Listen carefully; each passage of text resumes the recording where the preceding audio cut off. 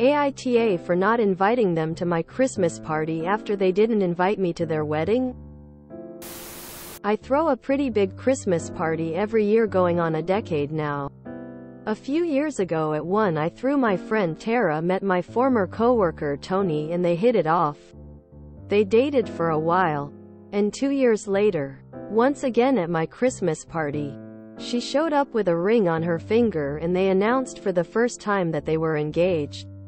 I was super happy for them. They got married this spring. We didn't get invited. When I was sending around my party invitations this year, I didn't see any reason to invite them back if they didn't think I wasn't worthy of making their guest list. I have known them both for years. Basically introduced them. And they literally announced their engagement at my home. It got back to me today that they're very upset with us for not inviting them this year. That my party is something they consider special and they think I'm being petty.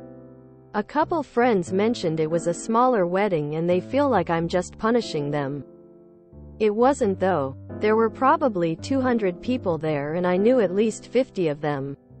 And I was a little surprised at some of the names that made the cut over us. I didn't make a stink about it or anything. But I don't see why I should welcome them into my home again after being snubbed like that. My partner thinks I should just let it go and invite them back. But I don't see a reason why I should. AITA? NTA. Normally I'd say that they can invite or not invite whoever they want to their wedding. But by that same logic, you can invite whoever you want to your party. You're upset they didn't invite you. They're upset you didn't invite them. The difference is they're using your Christmas party as a celebration of their relationship. They feel entitled to your Christmas party because it's important to their relationship. But they don't view you as important. They'll keep using your party to announce life events because they feel entitled to your party as a celebration of them. 200 people is not a small wedding. But if they think it is, you have two new friends you've invited and you just couldn't fit them in. 2. So sorry. Darlings. It's just a small party. You understand, right? NTA. Also don't think it's petty. We don't have to prioritize people who don't prioritize us. NTA. They'll just have to find another free public venue to announce their next milestone. I'm betting she's pregnant and they planned on announcing it at your party. NTA if they can't even invite the person who introduced them to their wedding then I don't think they should expect an invitation to your Christmas party. If you're not close enough to make it to the wedding invite list, why should they be close enough to you to make it to your Christmas party? NTA you can invite and not invite whoever you want without any reason. And if they want one, it is a smaller party this year winking face. Edit. Thanks for all the upvotes and my first award ever. 4-leaf clover 4-leaf clover 4-leaf clover you guys are great. NTA they chose not to invite you. You can do the same. 200 isn't a small wedding they deliberately cut you out. Why on earth do they deserve an invite to your party? NTA. They met at your Christmas party. Announced their engagement two years later at your Christmas party. And now they're mad they can't announce their pregnancy at this year's Christmas party. How can two people you've known for years and considered friends not invite the person that introduced them to each other to their wedding? NTA they showed you where you are on their hierarchy, you're just following suit. NTA invite who you want there and don't invite who you don't want there. After all, you're just having a smaller Christmas party with checks notes 200 guests. Right? NTA they clearly don't value you like you did them. But expected to still be invited to your party? No way. They don't deserve to come. Don't just give in like your husband wants you to. NTA. They just wanted to get a free party for when they first met. They already got an engagement party out of you after all. They didn't owe you an invite. But the fact that they didn't even think that it would be nice to do so is telling. They didn't even bother to talk to you in person. Have a great party with people who do actually consider you. NTA. If your friends bring it up again, I would say something like they don't actually want to see me though.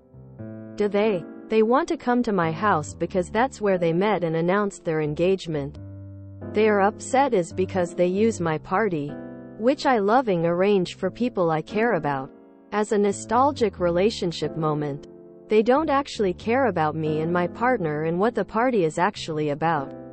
Which is friendship. They only care that it's special for them.